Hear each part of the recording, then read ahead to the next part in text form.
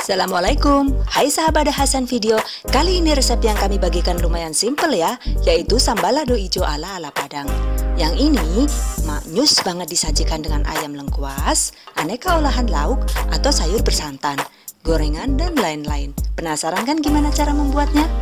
Yuk dipantengin terus videonya Don't forget to subscribe our channel The Hasan Video to have the updated video every week. And yeah, don't forget to give me a thumb up, add the video to your favorites and leave your comment below. Thank you so much.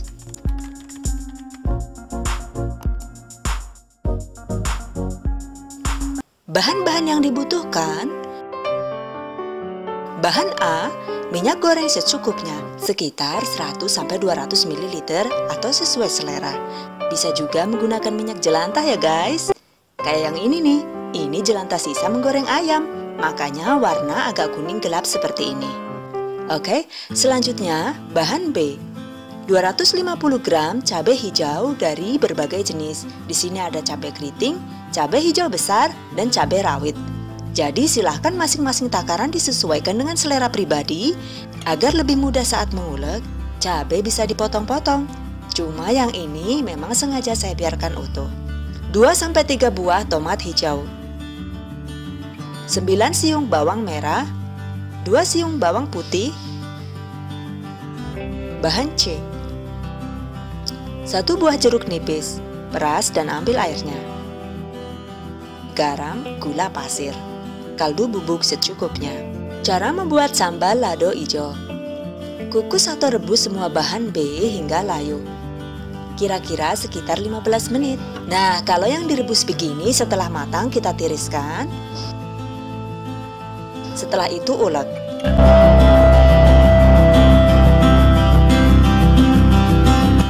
Untuk tekstur sambalnya sesuai selera ya guys. Jadi bisa diulek kasar atau halus.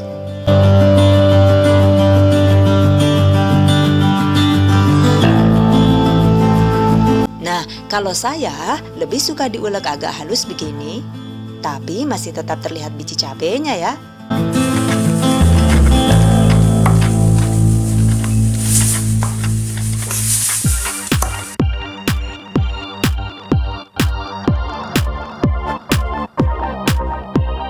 Selanjutnya panaskan bahan A yaitu minyak. Tumis bahan B yang sudah diulek tadi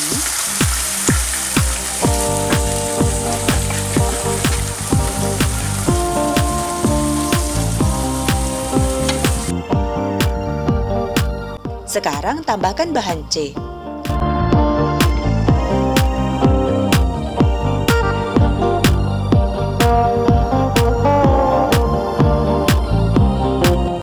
Aduk hingga harum.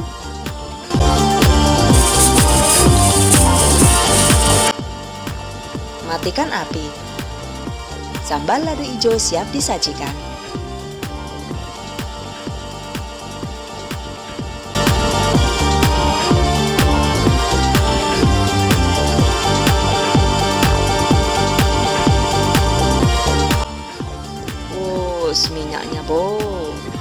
Ceritanya, ini yang sedang bikin sambal lagi diet keto ya. Makanya sengaja nih sambalnya dibuat berminyak begini. Serba-serbi sambal lado ijo.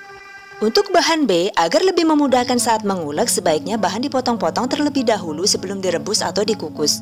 Selain itu, sebenarnya kita juga bisa langsung mengulek cabai, tomat, dan bawang tanpa harus mengukus atau merebusnya. Dengan cara ini, maka warna sambal lebih terlihat hijau segar dan lebih cantik. Nah ini dia setelah dipotong langsung diulek, seperti ini penampakannya, warna sambal lebih terlihat hijau dan menggugah selera. Untuk takaran minyaknya juga sesuai selera ya. Jadi kalau ingin tekstur sambal yang lebih berminyak, maka takaran minyak diperbanyak. Begitu juga sebaliknya, kurangi takaran minyak jika ingin hasil sambal yang lebih kesat.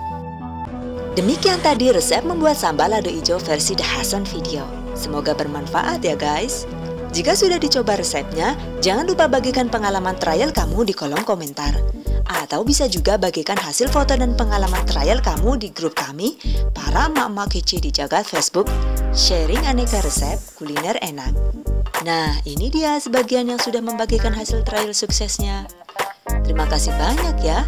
Dan buat kamu yang belum berlangganan, jangan lupa subscribe akun kami The Hasan Video agar kami terus selalu semangat untuk membagikan video bermanfaat lainnya di setiap pekan. Thank you for watching. Bye-bye.